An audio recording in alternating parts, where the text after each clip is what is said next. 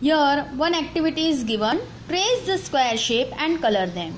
Here some square shape is given. What you have to do dear children? You have to trace them first like this and inside the square shape you have to color it. Next count the square shape picture and write the number. Here one big picture is given and in the picture some square shape object is given. What you have to do? You have to identify the square shape picture, count and how many number of the square shape picture you have to write in this box. So let's count it. Here this is the square shape. No, this is the circle shape. This is the square shape?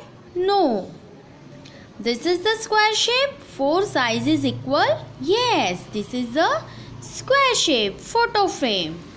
Next, this is the square shape object. Yes, this is the square shape photo frame and four sizes equal. Next, this is the square shape. No. This, this four sizes equal? No. This two size is small and two size is big. So this is the rectangle shape. This is the square shape.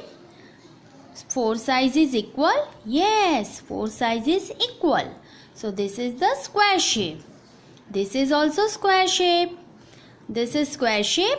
No. This is also square shape? No.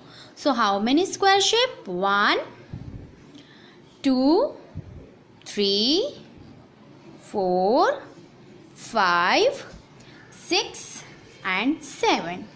So how many? 7 picture of square shape. So here we have to write the 7 number. Next, draw 3 squares and color them red. Here children you have to draw the square shape 4 equal lines.